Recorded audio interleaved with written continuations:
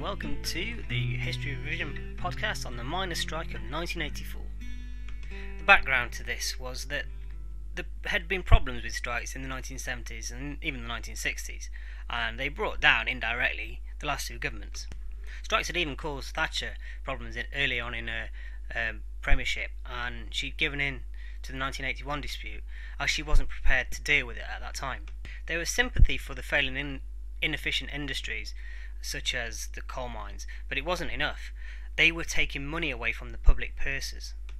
The union's job was to look after the workers in every industry, and this had fueled inflation in the 70s as they as they ensured higher wages for their members. Coal was expensive to mine and inefficient, maybe some would say because it needed investment, but it was running at a loss.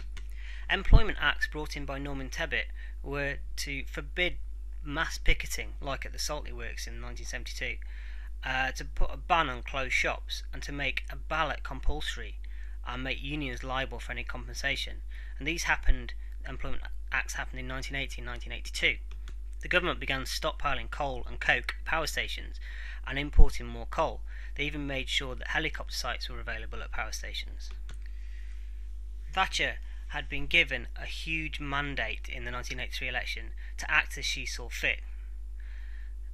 She started off with putting uh, a ban on union membership at GCHQ in 1984, and she brought Ian MacGregor in to do the same as he had done in the steel industry, i.e., sort them out, with the result of heavy job losses. There are arguments for closing the pits, or there were anyway.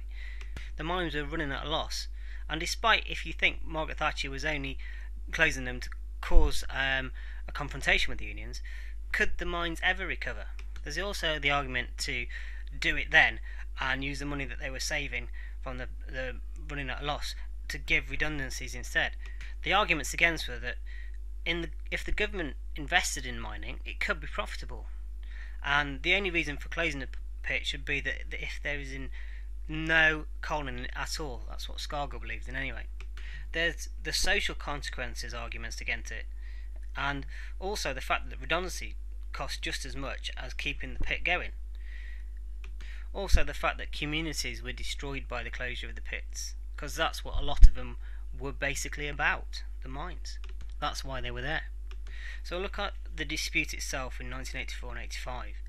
The government claimed neutrality but backed the National Coal Board, the NCB.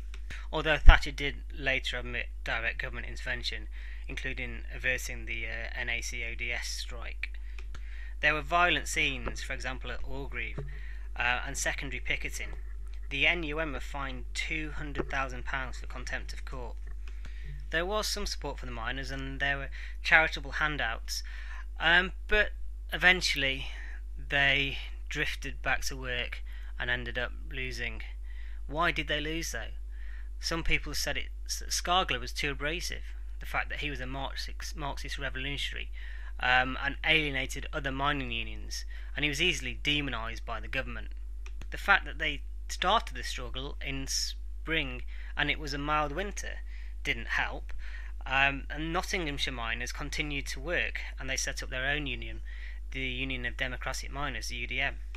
Scargill made the mistake of refusing a ballot, which made them look undemocratic. But then again, he had lost three other previous ballots, so he probably would have lost this one, which is why he didn't have one. There was a lack of support from other unions around the country. The government preparations meant they were well ordered to deal with the strike, and the Employment Act meant the law was on their side. Labour and Neil Kinnock were weak on the issue, giving support for the miners, but condemning their use of violence.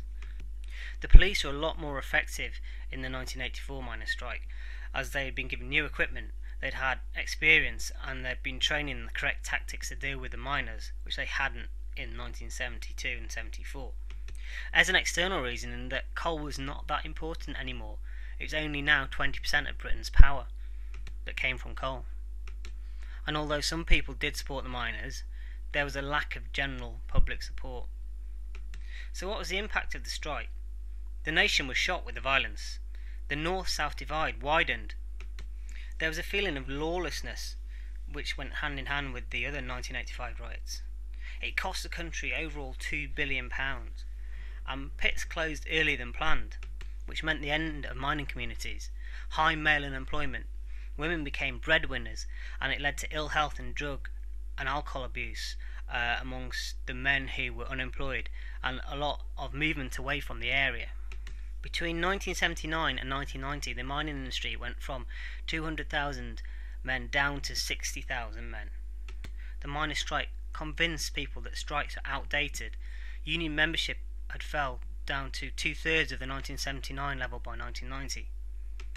New trade unions started accepting no strikes agreements with their employers and became more democratic. The days lost in 1979 strikes was 29.5 million days to only 1.9 million in 1990.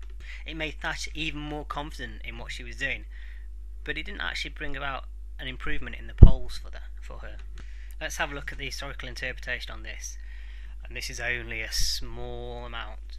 Lynch says that the government deliberately encouraged the showdown to crush unions as they were now well prepared. Rowe says that critics blame Thatcher for a politicisation of the police. He also says more pits were closed because of the strikes than if the miners had actually made negotiations with the government. Thatcher called the miners the enemy within, which didn't get on too well at all. She made sure she drew comparisons between Heath and Callaghan and herself and how she dealt with the miners and they hadn't. The UDM accused Scargill of caring more about politics than jobs. Scargill called them traitors. P. Jenkins and D. Smith believed that Thatcher's greatest impact on the economy was her reduction of union power. Tony Benn called it pure fascism. Ian Gilmour, who was a conservative, if a wet one, says it caused only confrontation and unemployment. And Patrick Walsh Atkins says union leaders were marginalised. You'll be able to find a hell of a lot more if you just ask anybody on the miners' strike or Google it. That's it from me though. Thank you. Bye bye.